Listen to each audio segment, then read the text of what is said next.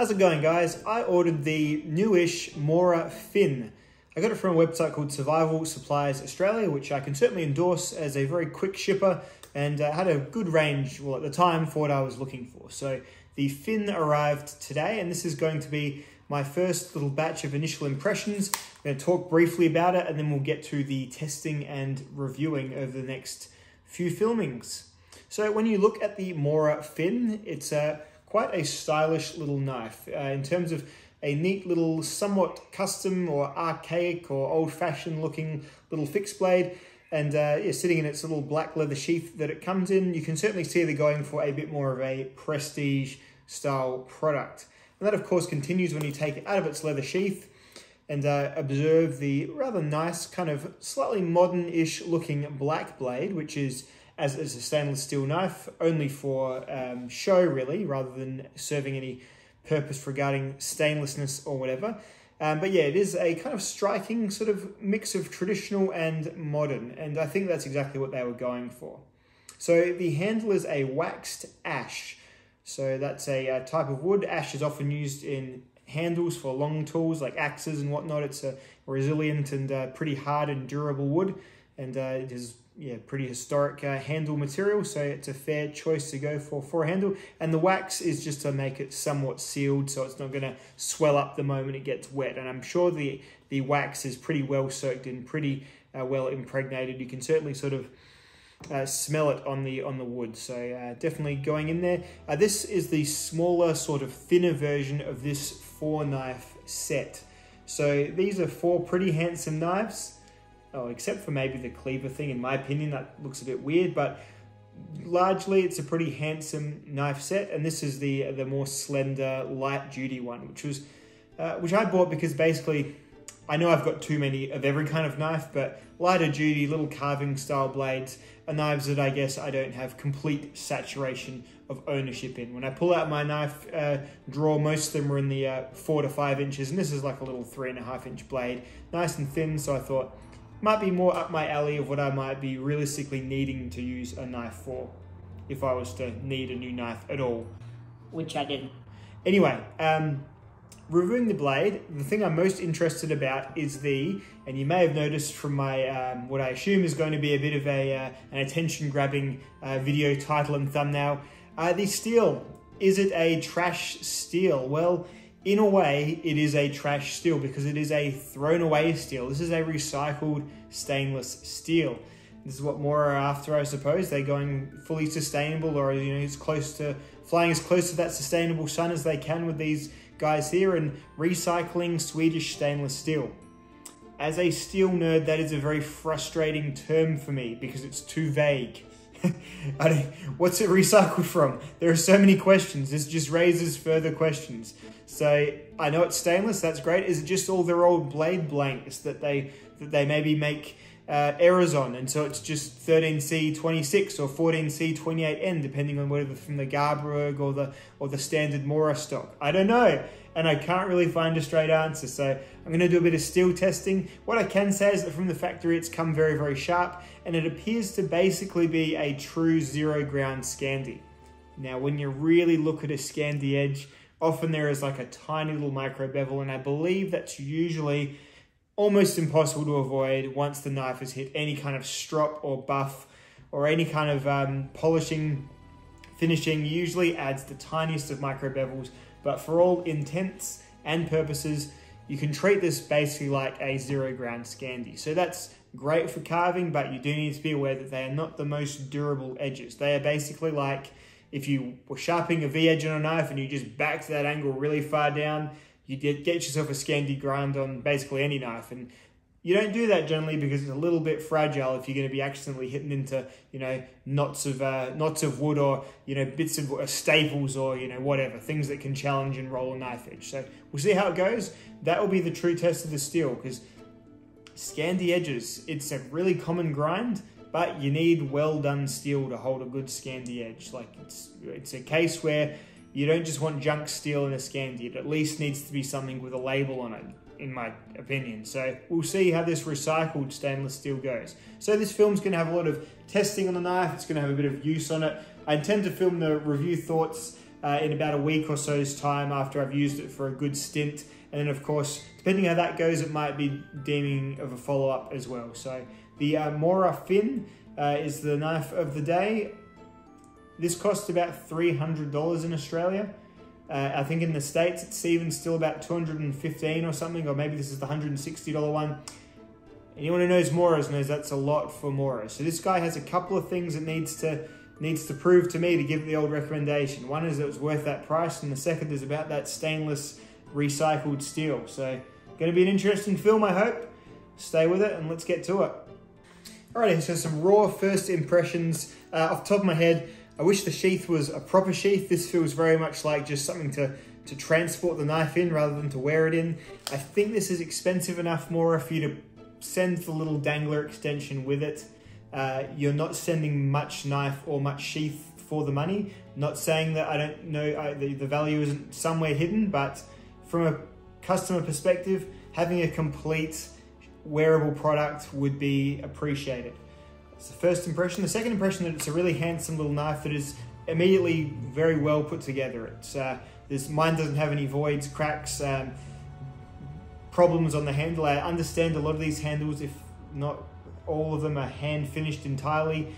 Um, so seems really nice so far. Um, really, really sharp out of the box, which is you know pretty typical of a Mora. Um, very, very sharp paper slicing edges. Um, so yeah, that's really, really good. Uh, yeah, overall, if I didn't know how much it was and just knife in hand, I'd think immediately, yep, the very nice little knife, very sharp, uh, feels you know sturdy despite its thinness, which is another impression I do like. I like when com companies go.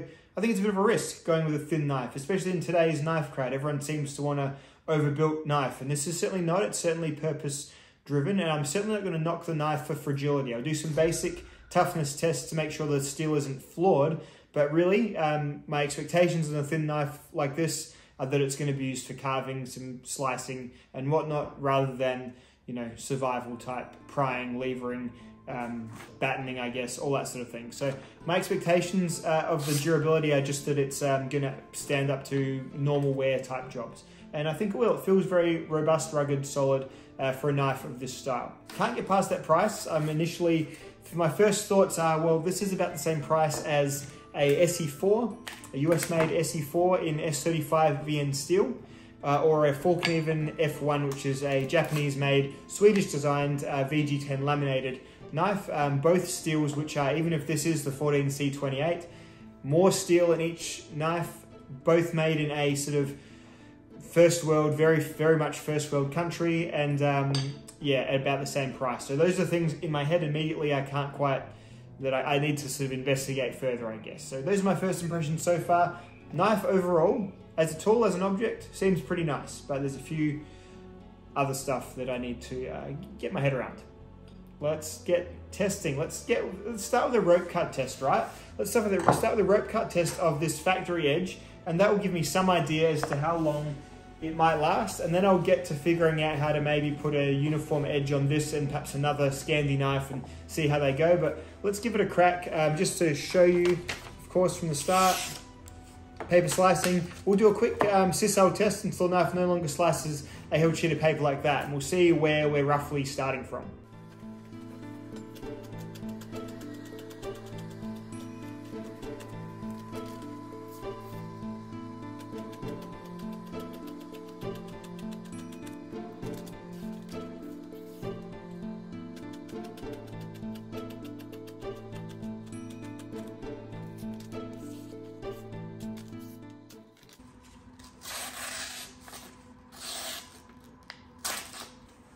So I'm feeling the knife very suddenly stopped biting into the rope. So I'm feeling like probably it's flattened out on the very edge. It's not a easy press through the rope anymore. So, and it did sort of start to tear uh, when slicing. It hit a hiccup. So I'm going to call. I don't usually do this test on Scandi knives, by the way. So it's a bit of a um, bit of an odd yardstick, but uh, yeah, it's 75 passes from a really sharp factory edge. It's now no longer slicing the held sheet of paper. So uh, yeah, I, mm, okay, uh, all right. Funny example. All right, let's go. Um, this is going to be overkill, but we'll see how it goes next to MagnaCut. I'm sorry, I know, MagnaCut, different, but uh, this might be some kind of example on a knife that's also a Scandi grind. So we'll see how that goes. And it's not going to be, it's kind of apples and oranges, but it's also at least showing something, perhaps. Let's see. Oh, it's in my sharpener, what a tip. All right, so Magna Cut on a Scandi edge, like just to show um, maybe a rough, a rough comparison just to start with. So super sharp.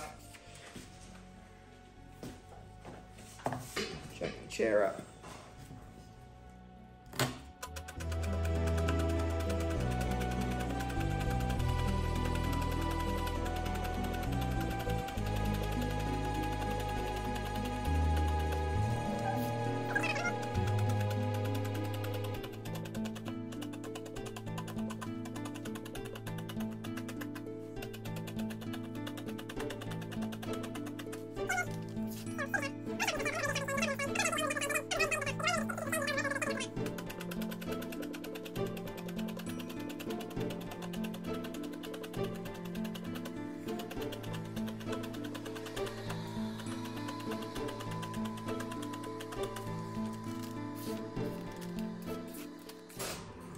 So still really sharp. It might be starting to slightly dull.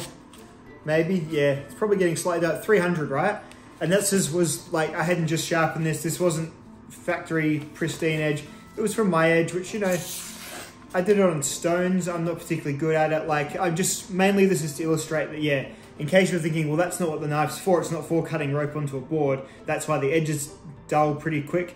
Uh, yeah, I mean, Magna Cut steel with a Scandi edge, no worries at all. Still like, still crazy sharp, really. This guy's still sharp, like it's still not, I wouldn't say this is dull, but um, there you go. It's not shaving hair anymore. Not shaving hair anymore where it was cutting and down the end it still definitely is. So where I wasn't cutting with. So yeah, it's lost its edge from 75 cuts, like that crazy sharp edge. Ah, nothing, that doesn't mean a huge amount, but it's, I'm still just trying to illustrate that, yeah, it's by no means is it seeming like it's going to be a, a great deal with the steel from the beginning. So we'll see how it goes in the review. Try not to try not to shelve. Uh, I'm trying to shelve as many of my preconceptions as I can, but that's one of my main first impression concerns is how the steel is going to go. So we'll see.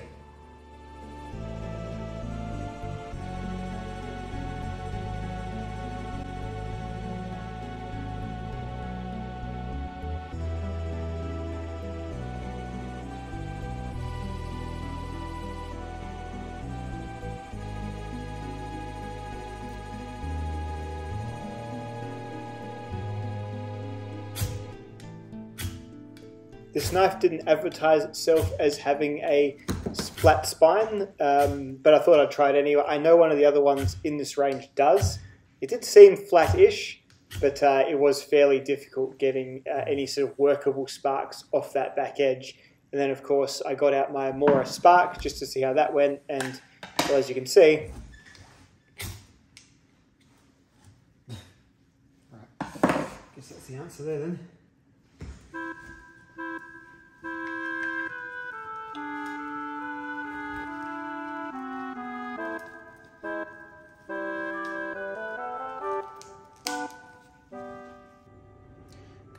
Going, cat sitting by it, Basil just in goblin mode. What are you doing, Basil?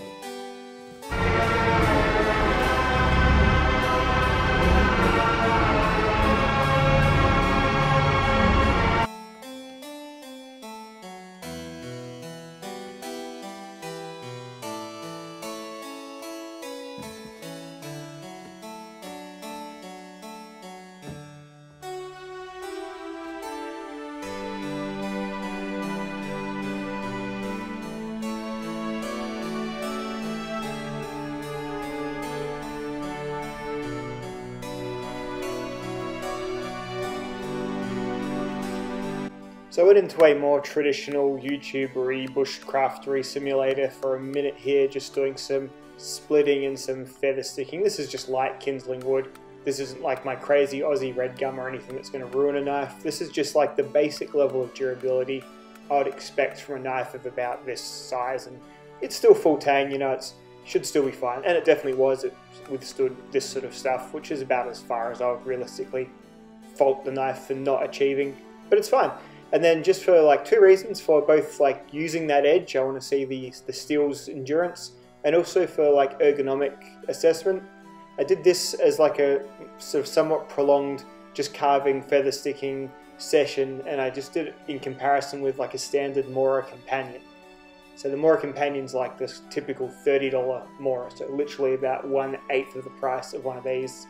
And this, I believe, is in either the same steel or the 12, no, the 13C 27 steel or the 12C 26 steel, depending on how old a companion is if you got a Mora stainless. So interesting to see like these two compared to each other in a few different ways, but maybe uh, in terms of mainly comfort, um, we're looking at sort of how the knife works in the hand, doing kind of these jobs where the wood, you know, it's, a, it's an organic material, it's not uniform, it's not like slicing cardboard, you're going to hit hiccups, you're going to get twists, you're going to get little knocks, it's really going to kind of work its grip out. And frankly, the companion's more comfortable to use for stuff like this. It just is. It's a time-proven handle, the companion handle. It's, it fits most hands, especially my hand, really, really well. Sure, it doesn't look as nice as like a piece of ash wood, but the ash wood's a little bit thinner, it's a little bit wider, a little bit shorter, and so the bit that is held in the palm kind of tends to move around a little bit more, and that's sort of also compounded by the tang of the knife all the way around, slightly protruding from the handle, like it's not flush. So you do feel that slight ridge uh, after you know a few minutes of sustained repetitive use. So the Mora Companion is actually more enjoyable to use long term.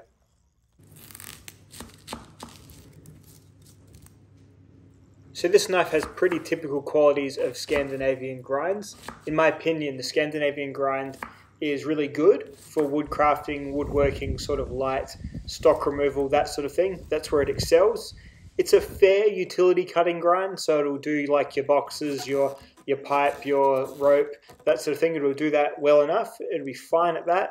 And then it actually, I feel like Scans is just generally bad food prep knives. They have a, an angle to them generally, just from the extreme edge angle graduating to a flat usually splits and sticks in food, so splits apart, breaks apart the food rather than slices it apart, and uh, makes for unsatisfying food prep use. I understand if you're on the knife out anywhere, there's a Scandi knife, you're going to make do and you're probably not going to be too bothered. But compared to other grinds, those are what I think the qualities are of Scandi grinds. And this one is very typical of all those qualities. All right, so with regard to the edge, edge retention of the steel, um, throughout the week's use, I've noticed it's held an edge, it's held a working edge fine, about similar to a companion. I'm going to estimate that it's probably, the recycled steel is probably recycled old companion blanks or yeah, the scrap, perhaps the scrap steel that Mora would throw away after they make companions or something similar to that, I would guess, just from my feeling about how it's working. I can't do, unfortunately, a rote knife for knife test. That test before the Magna Cut, that's not particularly intending to be numbers focused. That was more just to show that Magna Cut or that Scandi grinds can do rope cutting and do get, get you know, decent-ish results, whatever. So um, what I figured out, I, I, hooked them both up to my sharpening systems and um, uh, the angles are just too different for me to really test. So the companion, this is a companion heavy duty, I think, which is slightly thicker like almost a three millimeter thick rather than the companion, which is about two and a half, I believe. Um, these are 17 degrees the bevel, the edge bevel going into the flat. And this guy's about 15, just just above 15, probably dead on 15, you know, give or take, uh, before that goes onto its flat. So I would have to seriously reprofile um, either of these knives and um, to be able to do like a one-for-one -one test. Um, that may happen in the future, but I think right now I don't think it's super necessary. I think this is pretty obviously just a lower end stainless steel, probably a version or fairly similar to the 12C27 or, uh, or similar. And um, it seems like they've got an okay enough reheat treatment of it or however it goes, whether the steel was already heat treated, then they've melted it all down, redid it. I don't know how. As I said, it's frustrating with little detail on the steel, but uh, yeah, it's performed fine. Like it's not, it's definitely gone dull and it's been touched up a couple of times on a strop. Um, I will probably use my bench stones for this. I'm getting better at bench stone sharpening and I found most of my sharpening systems going these low angles on these Scandi grinds, you start to sort of bump back onto the sharpening system. Um, it's They're not really intended for full Scandi edges. So stones, however, are perfect for full Scandi edges. So that's what I'll be using to maintain it. Stones and generally just a strop. So yeah, interesting. Uh, interesting steel. I, as a steel nerd, I wish there was more information on it, but I think I'm just going to guess. My feeling is that it's uh, yeah, it's probably the 12C27. You know, maybe 14C28. I don't know if they can blend it or whatever's going on. I would say it's just more a stainless steel. The bits that fall on the shop floor repurposed. That's my feeling anyway. So this pricey little knife with the high level of style, um, yeah, it's a competent user, it's well presented, it's well executed. Who is this knife for? I don't think this knife is for any of you or for me. People who would watch knife videos, people who are sort of obsessive over the details, who, you know, the knife enthusiasts. This isn't a knife for knife enthusiasts. I think there's admirable qualities to projects like this, but I think this is just the project that the company's on. And I think it's the kind of project you do for Mora. Mora made this knife for Mora. It's the kind of knife you make, you enter it into the 2023 Sustainability Awards to get yourself a nice little badge that you can put at the bottom of your website and perhaps get some press for, in a different kind of field. And you know what? I completely understand knife companies doing. I've always said, so knives on the whole need to try and enter the world from lots of different angles, apart from selling to like the weapons bros, the bushcraft bros, and the knife nerds, you know? So I think this is a way of probably more doing that. People who are perhaps outdoorsy, but aren't even aware of outdoors knives. And that is a large amount of people, believe it or not. Like lots of bushwalkers, lots of outdoorsy, um, you know, boaters and fishers and campers don't even really give knives a second thought. This is the sort of thing I could see more of because of its earthy credentials, getting into the magazines, getting into the featured sections of, of camping magazines and, and getting featured at trade sort of caravanning shows and things like that.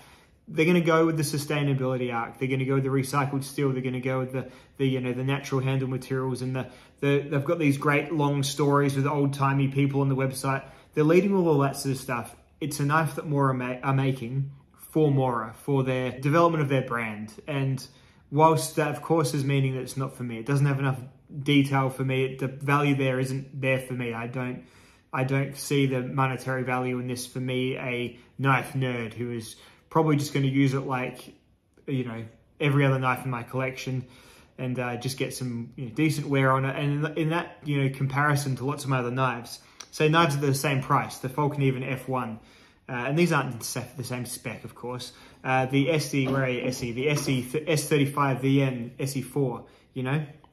You get so much more knife for about the same price as this guy. And then even if you do just want a great little bushcraft knife, well, frankly, a Mora Companion feels better in the hand and is um, in probably the same steel as well and costs an eighth of the price, right? So that's how someone like me in the knife hobby is gonna look at this knife, I think. But it's definitely going to get them some cred. And it's that type of cred which can for the, be for the benefit of the overall brand and maybe even for the overall knife world. The more quote unquote normies, like every average everyday people enjoy and use knives, the less scary they become for everyone. And maybe that's in, in a long game sense, kind of an admirable thing and something that we can all benefit from in the end. But I can't, I can't quite get past this price and I'm not quite seeing the ingredients lining up. Even if the, the processes do add expense, which I'm sure they do, it's as simple as I don't think that my $260 was well spent on this. However, my $260